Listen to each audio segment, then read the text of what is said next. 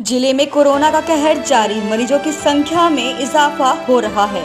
ज़िले में चौथा कोरोना पॉजिटिव मिलने से हड़कंप मचा। जी हाँ, आपको बता दें, अकबरपुर ब्लॉक के मंसूरा गाँव में एक युवक कोरोना पॉजिटिव पाया गया।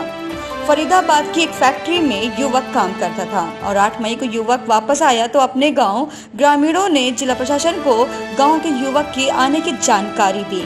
स्वास्थ्य विभाग ने युवक का सैंपल जाँच के लिए मेडिकल कॉलेज कानपुर में भेजा।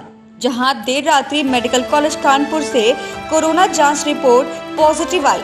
रिपोर्ट में युवक के कोरोना पॉजिटिव होने की पुष्टि हो गई।